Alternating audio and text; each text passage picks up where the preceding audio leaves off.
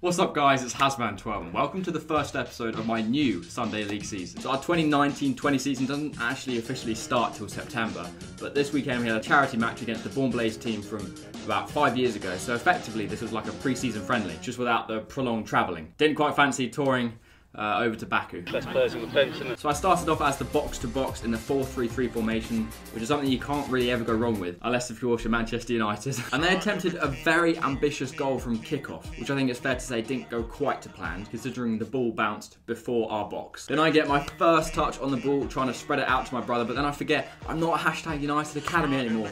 I'm at Sunday League. They will bite at my legs. So that is a cynical foul, but no card, apparently. However, 10 minutes into the first half, I was moved a bit further forward as like a Griezmann second striker in a 4-2-3-1. And you can see here, it almost works perfectly. Tried to catch keep it off guard with an early shot, hitting it very, very low. Uh, unfortunately, the keeper was equal to it, and it's actually a pretty good save. Also, I hope you appreciate this GoPro angle. It's a, it's a little upgrade to these Sunday League videos. Although for miss-hit shots that go out for a throw-in, maybe the GoPro isn't really needed. Owen, good shot. In fairness, I hit one from that angle in the warm-up and struck it beautifully into the corner.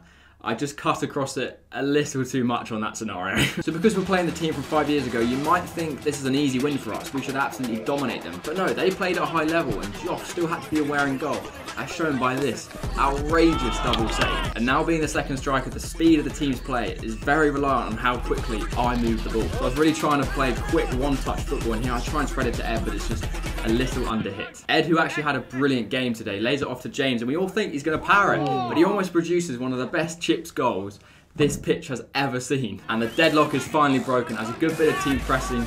Nick finds himself an opening and dispatches it beautifully and has no care for the goalkeeper's well-being whatsoever. Brilliant finish. And that GoPro angle, yeah, that's pretty nice. yeah, I would have liked to have scored that, to be honest. No. Then I spread the play over to James on the left wing. He cuts inside, delivers a pinpoint cross to Ed, and the defender actually gets there first, but it rebounds, and Ed's there first, and that's 2 0. And I think I really enjoy playing slightly further up. I feel like my, with my anticipation, if I can capitalise on the defender's mistakes a lot higher up the pitch, it's a lot more dangerous. Here, I really did choose the wrong pass. Uh, I opted for Ed instead of James. Yeah, that will come with time playing in a new position. Also, unfortunately, there was a period in the first half where my little brother who was filming, thankfully, I do appreciate it, but somehow he forgot to press record on the camera for like 10 or so minutes. So just for the next couple of clips, you're just gonna have to squint a bit and take my word for what's happening. Very effective 1-2 with Ed on the right-hand side. I managed to get Jamal in on goal. Uh, he takes his time, but he puts it just wide. And here, you're really gonna have to squint for this. We win a free kick, and I take it as quickly as possible. I grab the ball, put it down, feed it wide out to Ed, and he drives the opposition, plays it back across to James, and he finishes it very, very nicely. And that's a brilliant team goal. After taking on the defender with the use of my back, I then try and feed in Jamal, our striker, but he seems to be more interested in making himself dizzy than actually running after the ball. Anyway, the ball stays alive and eventually it finds itself back to me as Ed lays it off. Unfortunately, I don't get the connection I was quite hoping for, although it was still creeping in the corner, so it needed saving. Right, and now we have the main camera back. William has finally found the recording button. An award for the most unnecessary chop turn. think I'll add that award to my other collection of useless trophies. I think I'll put it next to this trophy, which was being part of the team for eight years. really trying to make things happen now as I try and use a bit of pace just to take it away from the defender, but they're actually a lot quicker than I thought. James played a very good ball over the top to Ed, who runs with it, drives, unfortunately hits the post, it's a good strike, but still late on in the first half, they still had their chances to try and get a late goal before half time, so Josh had to be alert. So now on to the second half, and we decide not to opt for the kickoff attempted goal. Uh, we try the usual pass around the back like prime Barcelona. Funnily enough, we can see not one, but two goals early on. and the cynical fouls are still happening as I'm taken out yet again.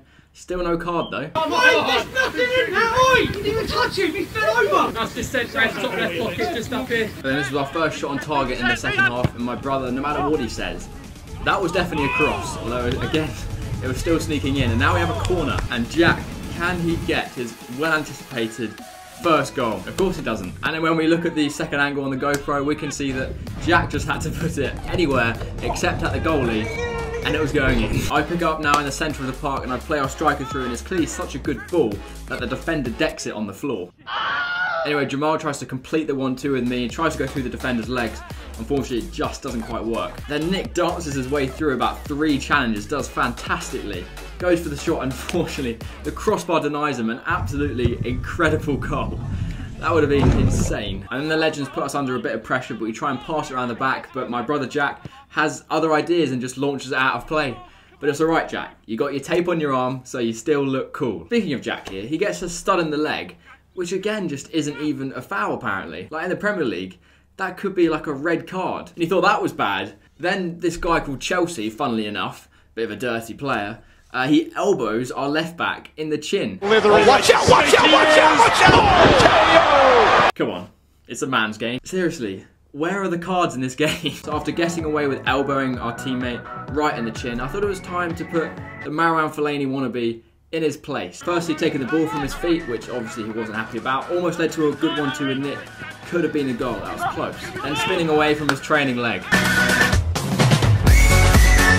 They then grabbed the third goal before Ed immediately cancelled out with another good finish, and now that's a hat trick for Ed. And Jamal, I don't understand how he hasn't managed to complete this layoff. It's like he still hasn't found his bearings since he was he's still spinning since the first half. Now I seek an opportunity on the edge of the box to be laid off to try and get a goal, and I run forward, shout for Nick for the ball.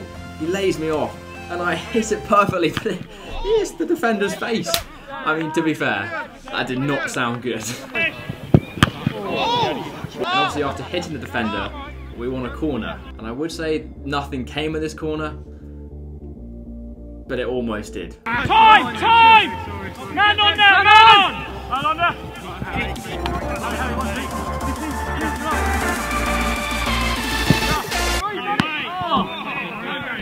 Don't mind it up. Can you imagine if that went in?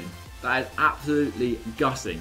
I struck that so well, and it was going right in the top left corner, but unfortunately the keeper was already on that side of the goal, so it, was a, it made it a slightly easier save. But even so, you can see when I shot, the keeper still didn't catch it. It still came out of his hand. So, yeah, I mean, out of respect, the keeper, I think, should have just let it in. I'm, start, I'm genuinely starting to think that I will never score. Genuinely. I just, it's just not going to happen, is it? And that's actually my last involvement in the game. And to rate my performance, it was sort of, it was a bit of an almost game. Like, if I was just a little bit more clinical in the final bit of the attack, and I could get a couple more goals, a couple of assists. So yeah, it's a bit frustrating. I probably should have scored, I'll admit. Sometimes it just doesn't happen for you. But there was still time for James to bottle a sitter, and then Jamal to maintain his 100% aerial duel success rate, and James to complain. eight playing on the right. Man the shot, switch cross, man! Shoulder! Man! Kevin Man got that one!